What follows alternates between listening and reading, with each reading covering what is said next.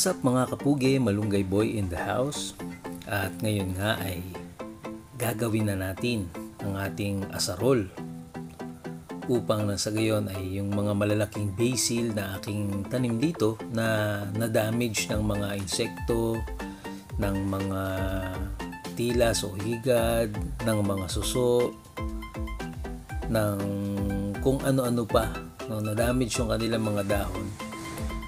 Finally, I decided to transfer it directly sa lupa na para nang sa ganon mas lalo siyang makapagpalago mas lalong maging maganda ang kanyang mga dahon. Kaya naman uh, ginawa ko ang o ginagawa ko ang asarol na to para mas mabilis tayong makapagbungkal at makapagturog ng lupa ng maayos. Last time, gumawa tayo ng pantabas upang hawanin ang area kung saan natin ililipat ang mga basil at ngayon ay bubungkalin naman natin ang mga ang lupang yon upang nasa gayon ay mailipat na natin ang ating mga malalaking basil. Kasi yung mga seedlings natin na maliliit, ilalagay naman natin sa agribag.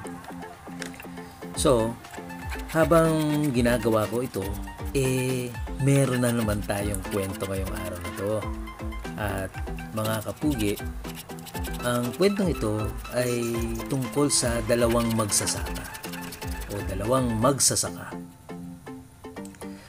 Uh, nakuha ko itong kwentong ito mula kay Mr. David Cirulio.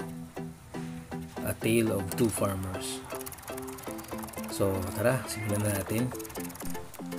Mayroong dalawang magsasaka na matagal nang nakakaranas ng tagtuyo. Habang pinagmamasdan nila ang kanilang bakuran, ang kanilang bukirin, eh hindi nila mawari kung ano ang mangyayari sa hinaharap sapagkat talaga namang hirap na hirap na sila. Kumbaga, parang kagaya ng nangyayari sa atin ngayon, bagsak na bagsak na ang ekonomiya, mahal na ang mga bilihin, lalo-lalo na ang mga gulay, ang karne sa panahon ngayon dito sa atin, napakamahal na. Ganon din ang dalawang magsasakang ito. Hirap na hirap na din sila yung finances nila talagang naapektuhan na. Ang kanilang bukid napakarumi maalikabok kasi tuyong tuyo kaya naman ganun na lamang yung kanilang bigat ng kalooban na nararamdaman isang araw naisipan nilang dalawa na manalangin sa Panginoon nagdasal sila na sana ay bigyan sila ng ulan. Sana pakinggan sila ng Panginoon magpadala ng ulan upang nasa ganun mabasa ang lupa at muli nilang matamnan. Kaya araw-araw silang nananalangin. Ganun pa man ilang linggo na nakalipas, wala pa rin ulan. Pero ang isang magsasaka Kinuha niya ang kanyang asarol, kagaya ng ginagawa ko ngayon, at binungkal niya ang kanyang bukirin. Kahit matigas ang lupa, binungkal niya ito ng binungkal ng binungkal. Hanggang sa ready ready na itong tamnan. Naghasik siya ng mga buto. Sa pananampalataya na uulan sapagkat sila naman talaga ay nananalangin. At ipinagkaloob nga ng Panginoon ang ulan na kanilang hinihiling. Umulan at nabasa ang lupa. Ganun na lamang ang tuwa ng magsasakang ito. Subalit, iisa lang na magsasaka ang nakaani. Sapagkat yung isa ay nananalangin, ngunit wala siyang ginawa pero ang isang magsasakang ito, eh, nananalangin siya pero gumagawa siya. Dahil tiwala siya na uulan, hindi siya nag-atubili o nag-alinlangan na bungkalin ang lupa at maglagay o maghasik ng buto. At kinalaunan niya, pinagkaloob ang ulan, lumago ang kanyang halaman, nabuhay, at umani siya mula dito. Mga kapugi, sa buhay natin, minsan lagi tayong nagtatanong, bakit ako?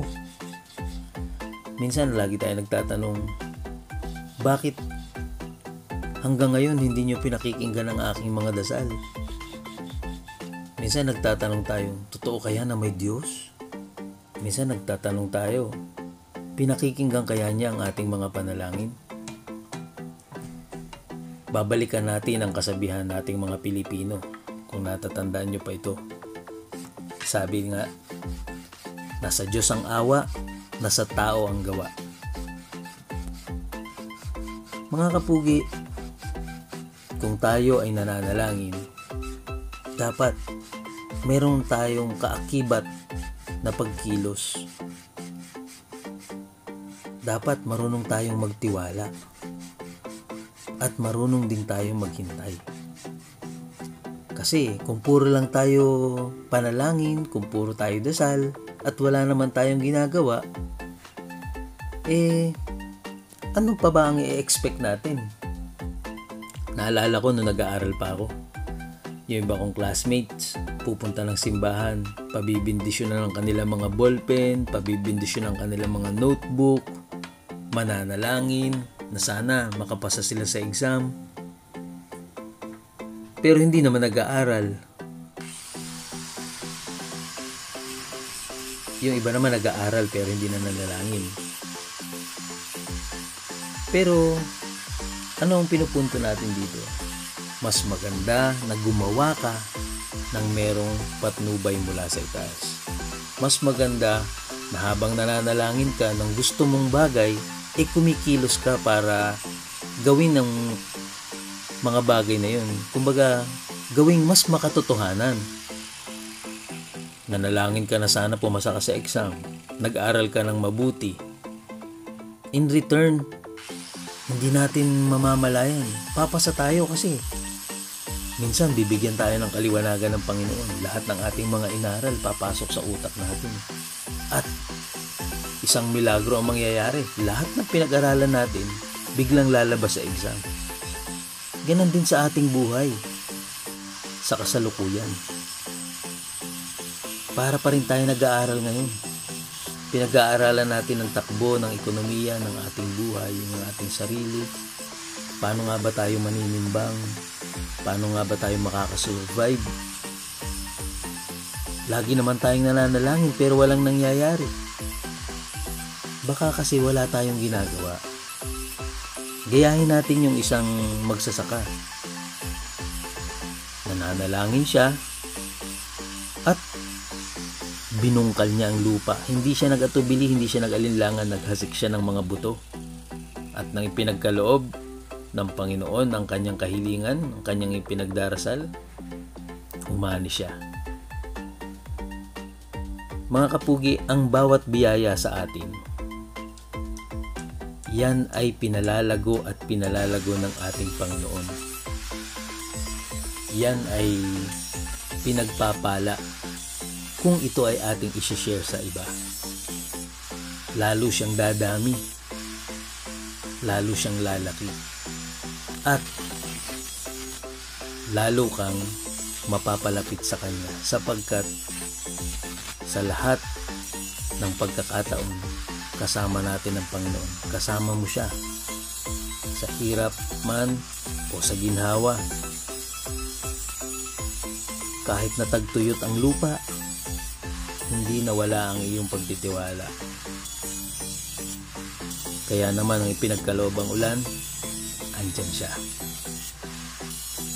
Binigay sa atin ang magandang harvest na ang ating buhay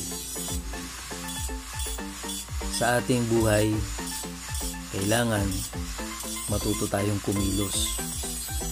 Isabay natin ang panalangin sa Diyos. Dahil dito lamang magiging mas makatotohanan ng ating mga kahilingan kung tayo ay kikilos. Ikaw mga kap ikaw kapugi. Sino ka sa dalawang magsasaka? Ikaw ba ay nananalangin pero walang ginagawa? o ang isang magsasaka nananalangin at gumagawa. Tara, samahan niyo akong magbungkal upang nang sa gayon, mas lalo pa nating mapaganda ang ating mga halaman at lalo pang mas lalong maging masarap ang laman ng ating hapagkainan. Lagi niyong tatandaan, sa bawat sipa ng buhay, masarap maglakbay pag may kasamang malunggay. Tara, tayo na't magbungkal at manalangin mamaya